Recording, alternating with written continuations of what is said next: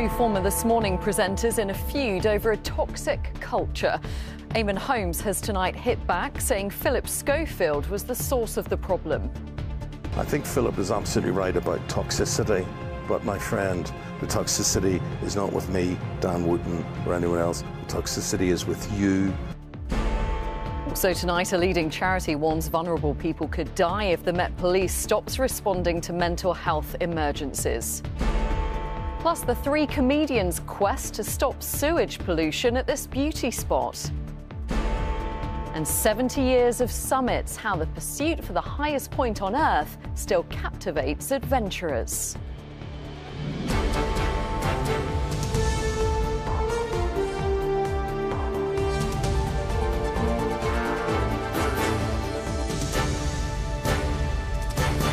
This is ITV News with Kylie Pentelow. Good evening. Former This Morning presenter Eamonn Holmes has hit back at Philip Schofield, accusing him of being the source of a toxic culture at the show. ITV's flagship daytime programme returned today after a weekend of speculation over its future. Before it started, Schofield took to social media to deny claims of toxicity, the controversy has continued to build throughout the day, and this evening things have become even more heated, as Ellie Pitt now reports.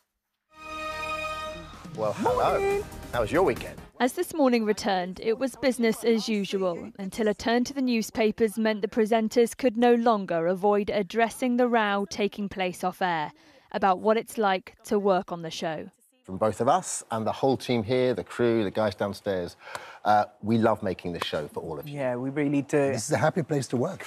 I enjoy coming in here. Before today's programme had begun, ex host Philip Schofield posted online This morning is the best show to work on with the best people.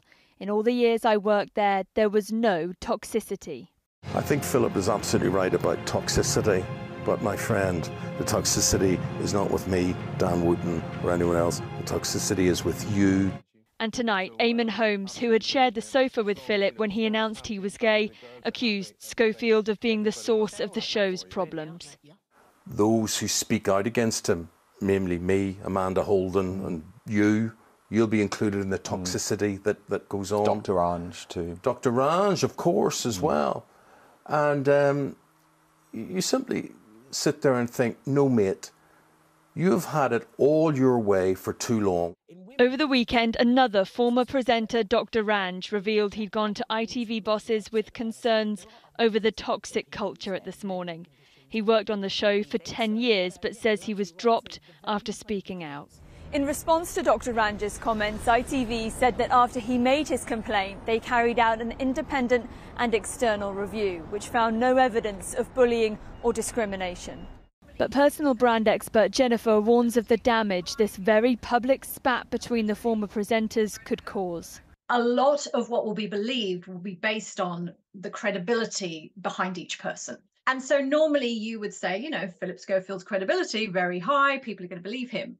But as I say, he's thrown a curveball at that credibility and that is knocked. So I think everything is really up in the air at the moment and people are just not knowing as audience we we just don't know who to believe. Bye. Bye. Philip Schofield left ITV last week after admitting he lied about an affair with a much younger male colleague.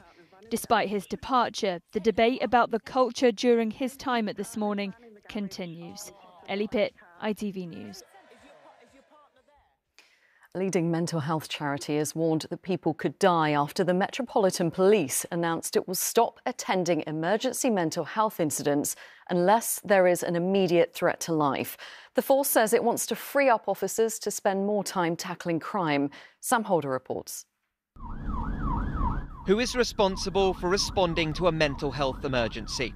Not the police, according to the country's biggest force. From September, the Met will no longer respond to 999 calls about mental health unless there is a threat to life. The UK's biggest mental health charity is warning there isn't enough time to bring in such radical changes safely. My worst fears are that people will uh, lose their lives. I think that people who are in mental health crisis are often experiencing suicidal thoughts, are often in the middle of uh, active self harm. And so it does demand police paramedic intervention uh, urgently. The Metropolitan Police deal with five to 600 incidents where someone ends up being sectioned under the Mental Health Act every month. For each, officers spend on average 10 hours. Across all police forces, it's almost a million hours a year. The Met believe the health service should be responsible for dealing with mental health emergencies and that police officers should instead focus on tackling crime. And they're not the first force to make that argument. Humberside saved more than a thousand police hours a month after they made a similar announcement. The difference is that was brought in over the course of more than two years and in conjunction with local hospitals, ambulance services, councils, and charities. Former Met Superintendent Leroy Logan says the police must work with other authorities and be part of the solution. To pull out now, I think, uh, is uh, a dereliction of duty uh, because we know there's a mental health case, especially since COVID, and we need to have a response. I think that's extreme, it's unnecessary, and it's causing a lot of anxiety. Critics argue police powers make officers better equipped to deal with mental health situations, and that a threat to life call can often only be made on the ground. That's been something that the police have done for, for 40 years. There's no other service that can step forward and fill that vacuum. There is broad consensus that frontline officers face too much of the mental health burden, but with already stretched health services, who will fill their shoes in just three months' time? Sam Holder, ITV News. The deadline's looming for ministers to decide whether to release unredacted WhatsApp messages and diaries belonging to Boris Johnson to the COVID 19 inquiry. The Cabinet Office has until 4 pm tomorrow to respond or risk the prospect of legal action. For on this, our political correspondent Libby Wiener is here. Libby, these could affect many more people than ju- just the former PM.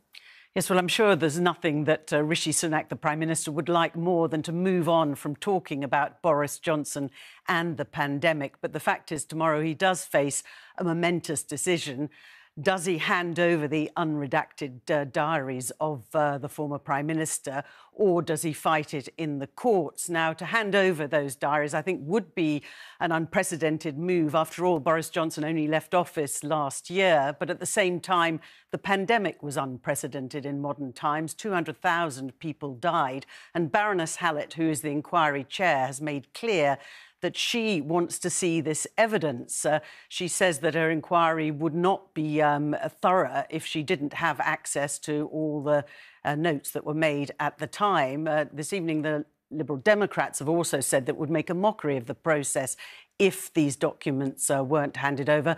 And campaigners for the bereaved say it's outrageous that uh, the Cabinet Office gets to decide what evidence is released. I think the danger for Rishi Sunak is that uh, if he does hold this uh, information back, he could be accused of covering up for Boris Johnson. Kayla Bivina, thank you.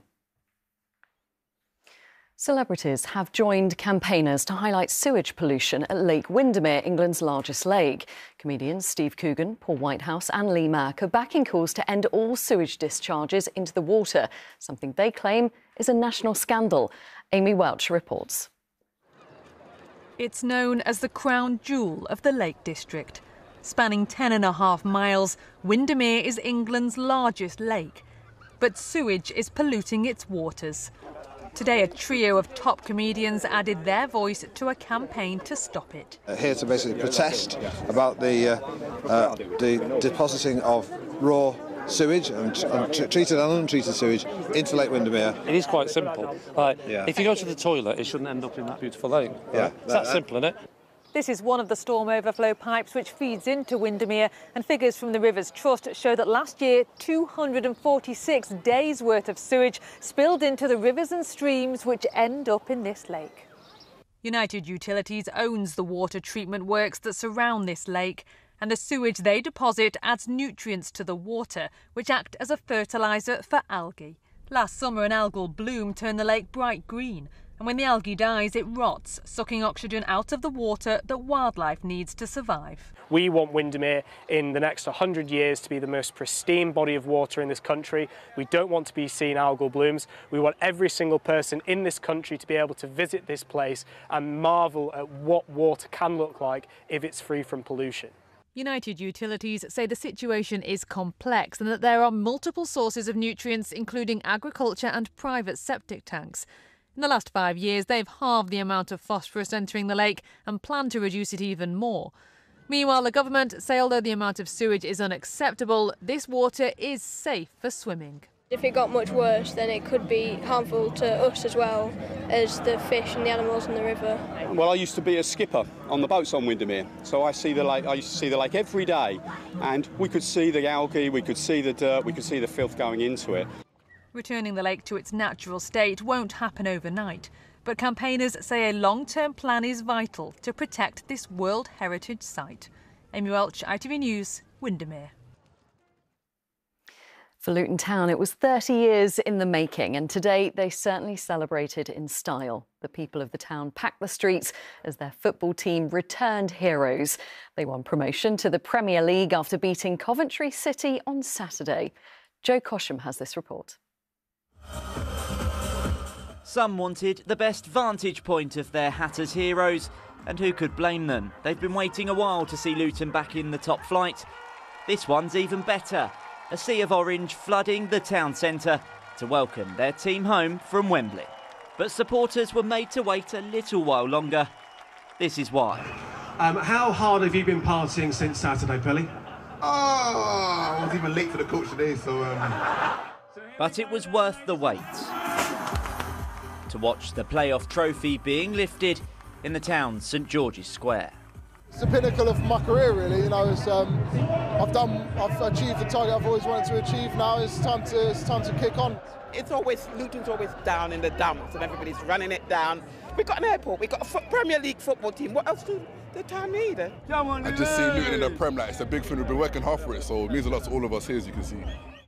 Tom Lockyer watched on from his hospital bed after collapsing during Saturday's final. Tommy, Tommy, Tommy, Tommy Lockyer! The crowd were in full song for their captain, while the town's manager entertained with a bit of Bon Jovi. Like the way it's meant to be. We know it's going to be a massive challenge, but we've got to enjoy this moment now. You've got, you just want to bottle it up, don't you? Yeah, yeah, yeah. We want to try and keep this feeling forever. We've not wanted this season to end, to be honest. Uh, and we've got to enjoy these times because they're few and far between in football. Preparations for the Premier League need to start at some point, but a bit like Saturday's match, Luton's party needs extra time. Joe Cosham, ITV News. Now, for 70 years, Mount Everest has represented the pinnacle of mountaineering achievement. And today, Nepal honoured all of those Sherpa guides who've helped thousands of climbers to follow in the footsteps of Edmund Hillary and Tenzing Norgay. Carrie Davis reports. Ever since Mount Everest was identified as the Earth's highest peak, climbers have wanted to reach it. In Kathmandu today, celebrations to honour the men who did it first. New Zealander Sir Edmund Hillary and Sherpa Tenzing Norgay made it to the top in 1953 and came down heroes. Thousands have followed since then, many along a very similar route, including Rebecca Stevens, who became the first woman to reach the summit in 1993. Hillary actually said, you know, nobody's going to be interested in Everest again now that it's climbed. And we know 70 years on that isn't right. Um, but, you know, lots of people still are fascinated by Everest. Although increasingly accessible for those willing to pay, it remains dangerous. 12 have died this season and five others are missing. Overcrowding has been blamed for increasing the risks, and conditions are deteriorating with rising temperatures. 70 years after his father's historic feat, Sherpa Norgay's son has a warning for the future. Between uh, the mountaineering industry uh, having perhaps fewer uh, Sherpas uh, being able to wanting to go up there because of, uh, of how difficult it is and you know climate change uh, you know it not, might not be that sustainable since the first summit the evolution of mount everest has been dramatic and will continue.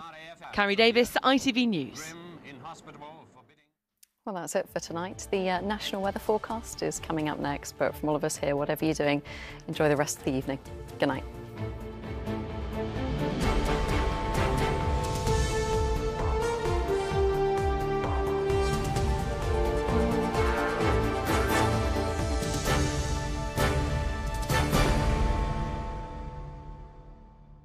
First thing today will be lovely and warm, and by breakfast time, it could be on the sunny side. Heinz Tomato Ketchup, no added sugar and salt, sponsors ITV National Weather.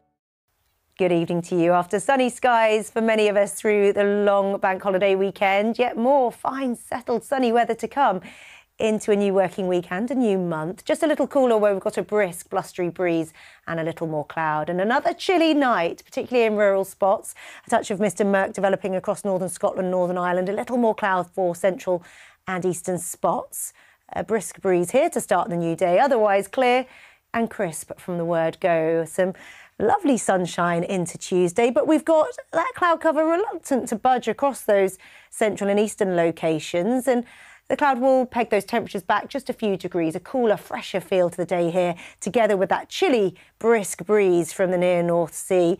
Elsewhere, a very different theme. That sunshine making all the difference, lifting temperatures a fair few degrees. In sheltered sunnier spots, highs of 23 or 24 degrees, peaking in western Scotland. See you soon. Have a good night. Heinz Tomato Ketchup, no added sugar and salt, sponsors ITV National Weather. ITV London weekday weather is sponsored by Octopus Electric Vehicles. Car, charger, and energy. Hello again. I hope you've had a lovely bank holiday weekend, whatever you've been up to. We've seen some cloud building across parts of the southeast and certainly London this afternoon, and breezy conditions developing. It does mean we're in for a mild night tonight, and this week across the board, our weather will be staying dry. Plenty of sunshine to look forward to from Wednesday onwards, but the next day or so perhaps a little cloudy. Temperatures picking up through the week, but starting on the cool side. There's the high pressure in charge of things across all of the UK, and there's very little rain in the forecast for up to the next 10 days. There'll be cool breezes along eastern coasts as we go through the next few days and nights, and some mistiness here and there, but it stays dry, with temperatures beginning to pick up from Wednesday, certainly. Back to this evening's details, and after a quiet, clear start to the night, a bit of an infill of cloud through the early hours of Tuesday morning, and a fair breeze picking up as well. It does mean we're free from frost, 8 or 9 Celsius, the overnight low, a few shallow mist patches here and there as we go into the early hours of Tuesday morning. A dry start to the day tomorrow across the board, if a little cloudy. Breezy conditions as well, just clipping temperatures. You certainly need a cardigan or a light jacket if you're out and about first thing. Sunshine will get out through the day, and in the sunshine, out of the breeze, it should feel quite pleasant. 18, 19, maybe 20 degrees during the afternoon. So not a very warm day, but pleasant out of that wind. Looking towards tomorrow night, slightly more cloud building once again, but some better news gradually as we go through the rest of the week, if you like sunshine. During Wednesday, perhaps a little dull again, 20 Celsius, but from Thursday, you'll notice a real difference. More sunshine for the southeast in general, and temperatures beginning to pick up. ITV London weekday weather is sponsored by Octopus Electric Vehicles.